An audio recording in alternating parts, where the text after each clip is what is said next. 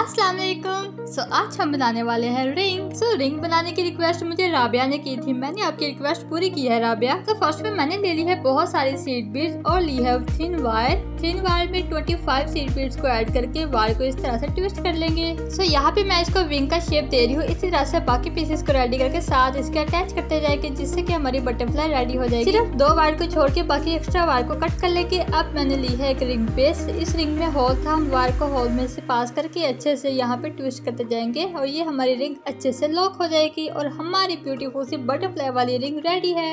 ये रिंग तो काफ़ी प्यारी लग रही है। आपको ये रिंग कैसी लगी मुझे कॉमेंट्स में बताना मत भूलना। वीडियो अच्छी लगी है तो वीडियो को लाइक करके कॉमेंट्स में ढेर सारे बटरफ्लाई भर दो। अब मिलेंगे नेक्स्ट वीडियो में। तब तक के लिए खुदा हाफिज़।